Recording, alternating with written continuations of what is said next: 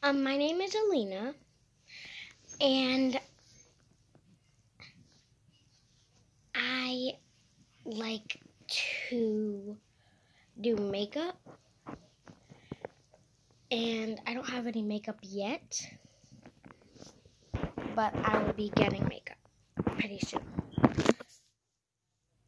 So, I only have a little bit, but I never use it.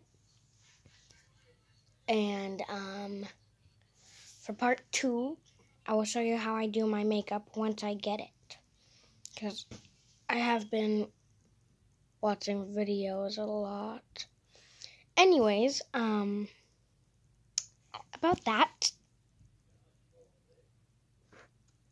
that's the only thing I will be sharing about for part one. Just wait for part two.